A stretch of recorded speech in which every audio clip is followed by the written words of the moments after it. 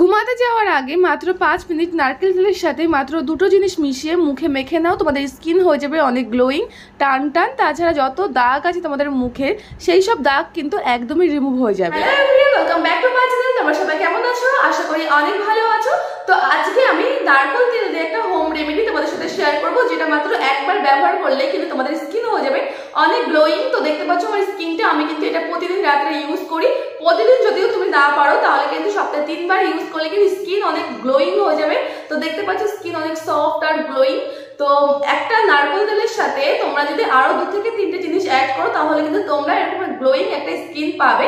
আর যেই সব জিনিস আরও আমি অ্যাড করব, সেগুলো কিন্তু আমাদের ঘরেই থাকে। একদম কম খরচে তোমরা কিন্তু একটা গ্লোয়িং স্কিন পেতে পারো। তাছাড়াও যাদের স্কিনে অনেক মেচেদার দাগ থাকে, সেগুলো রিমুভ হতে চায় না একদমই। এটা যদি তুমি সপ্তাহে দু থেকে তিনবার ইউজ করো, তোমাদের মেচেদার দাগ কিন্তু উঠে যাবে। মানে অনেকটাই কিন্তু হালকা হবে। তুমি রেগুলার ইউজ করতে থাকো একদমই তুমি রেজাল্ট পাবে। তার সাথে তার সাথে যাদের অনেক পিম্পলস এর প্রবলেম থাকে, তাদের কিন্তু এই রেমেডিটা খুবই হেল্প করবে। তো কীভাবে আমি রেমেডিটা তৈরি করলাম সেটা দেখার জন্য কিন্তু পুরো ভিডিওটা দেখো। তো চলো ভিডিওটা শুরু করি। প্রথমেই আমি যেটা ব্যবহার করব সেটা হলো নারকোল তেল। এখানে নিহার ন্যাচারালসের যে নারকোল তেলটা আছে সেটা আমি নিয়ে নিয়েছি। তো তোমরা লোকাল দোকানে কিন্তু এই ধরনের নারকোল তেল পেয়ে যাবে। এছাড়াও যারা ঘরে তৈরি করো, সেই নারকোল তেল কিন্তু বেশি উপকারী। তো এরকম মিডিয়াম সাইজের দু চামচ নারকোল তেল আমি নিয়ে নেব। আর বড় চামচ হলে এক চামচ নারকোল তেলেই কিন্তু হয়ে যাবে। তারপর এখানে আমি এক চিমটি হলুদ নিয়ে নেব। তো সেটাকে কিন্তু ভালো করে মেশাতে হবে। আর এখানে আমি রান্নাঘরে যেই হলুদ থাকে, সেই হলুদটাই ব্যবহার করেছি। তোমরা চাইলে সেই হলুদ ব্যবহার করতে পারো। এছাড়াও কাঁচা হলুদ তোমরা বেটে যে রসটা হবে, সেটাও কিন্তু তোমরা ব্যবহার করতে পারো। এরপর নিয়ে নেব আমি মধু। এখানে তোমরা যে কোনো মধু ব্যবহার করো। এখানে আমি নিয়েছি একদম অল্প পরিমাণে একটু মধু। নারকোল তেল আর হলুদের সাথে ভালো করে মিশিয়ে নিতে হবে। মধু আমাদের ত্বকের রুক্ষতা দূর করে একটা উজ্জ্বলতা ভাব আনে। এছাড়াও মধু কিন্তু বয়সের ছাপ দূর করতে অনেক সাহায্য করে। তাছাড়াও এখানে রয়েছে হলুদ, যেটা আমাদের স্কিনের ফাঙ্গাল ইনফেকশন, ব্যাকটেরিয়া ইনফেকশন, এগুলো দূর করতে তো খুব সাহায্য করে। তার সাথে কিন্তু আমাদের স্কিনকে করে ফেলে অনেক উজ্জ্বল। তারপর ব্যবহার করব ভ্যাসলিন। এখানে মাত্র পাঁচ টাকার একটা ভ্যাসলিন নিয়ে নাও। সেখান থেকে সামান্য পরিমাণ ভ্যাসলিন নিয়ে নেবে। আর এই তেল আর হলুদের সাথে ভালো করে কিন্তু মিশিয়ে নিতে হবে। তোমরা যদি ভ্যাসলিন ইউজ করতে না চাও, তাহলে তোমরা এখানে একটু গ্লিসারিন অ্যাড করে নিতে পারো। তো সেটাকে কিন্তু ভালো করে মিশিয়ে নিতে হবে। আমাদের ত্বক অনেক সময় রুক্ষ সূক্ষ্ম হয়ে যায়। সেই রুক্ষতাকে দূর করার জন্য কিন্তু এখানে ভ্যাসলিন ব্যবহার করেছি। তো সবকটা জিনিসকে কিন্তু ভালো করে মিশিয়ে নেওয়া হয়ে গেছে, আর আমাদের প্যাকটা কিন্তু তৈরি হয়ে গেছে। এরপর তোমরা ফেসটাকে ভালো করে জল দিয়ে ধুয়ে নেবে, আর তারপর যে এক্সট্রা জলটা থাকবে সেটা একটা ভিজে টাওয়াল দিয়ে বা শুকনো টাওয়াল দিয়ে তোমরা মুছে নেবে বা মুখে এরকম জল স্প্রে করে নিতে পারো। তারপর এই প্যাকটা তোমরা মুখে লাগিয়ে নেবে, আর এখানে দেখো আমি হাত দিয়েই কিন্তু লাগিয়েছি, আর হালকা হালকা করে মাসাজ করতে হবে।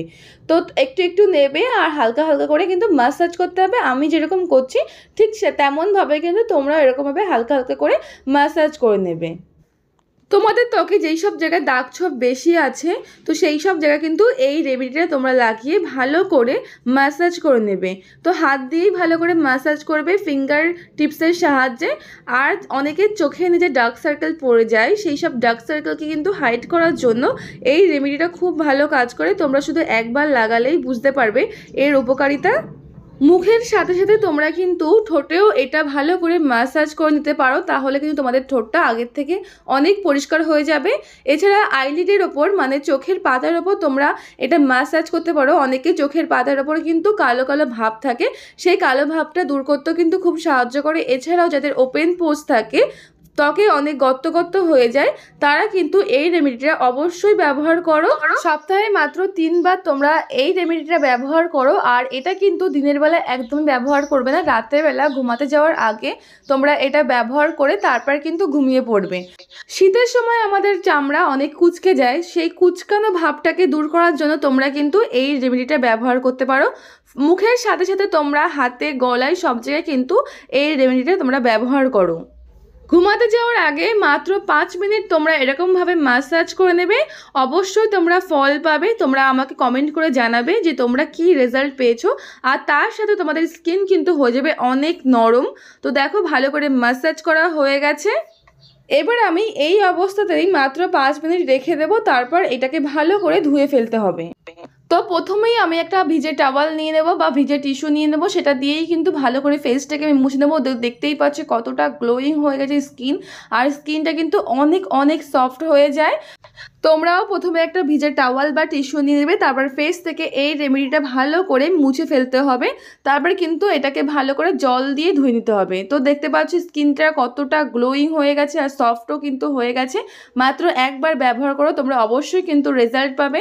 তো ভালো করে ফেসটা জল দিয়ে ধুয়ে নিয়েছি তারপরেও দেখো কতটা গ্লো করছে স্কিন তো তোমরা অবশ্যই কিন্তু বাড়িতে এটা ব্যবহার করো আর কেমন কি ফল পেলে অবশ্যই আমাকে কমেন্ট করে জানাও।